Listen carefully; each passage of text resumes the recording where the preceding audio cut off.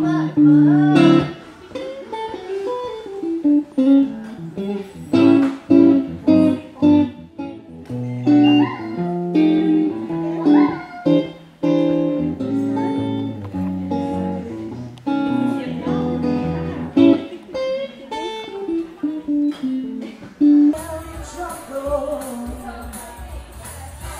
one knows just what the future holds.